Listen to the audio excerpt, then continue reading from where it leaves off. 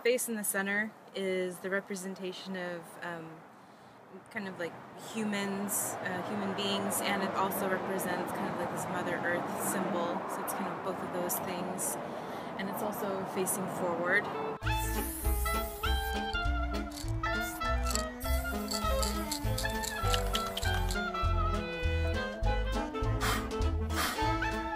There's two heads of the canoe. You can see them um, because uh, Sarah's going to be on a journey, so she's journeying forward.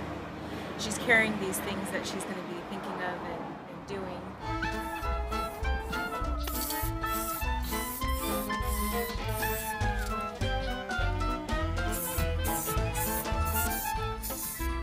They were born out of this area, which is which is cool.